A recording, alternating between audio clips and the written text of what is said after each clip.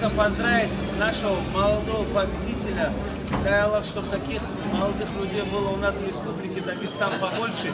И иншаллах, вот начиная с таких молодых людей, заканчивая наших старших, чтобы прославляли нашу Республику Дагестан, чтобы о нашей республике знали не только в Российской Федерации, но и во всем мире. Тебе спасибо, что ты есть.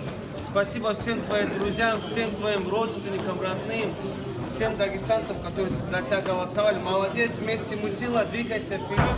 И иншалла мы еще о нем услышим, братья. Сегодня услышали мы вот на это время, а еще дальше мы услышим, иншалла. Поздравляю.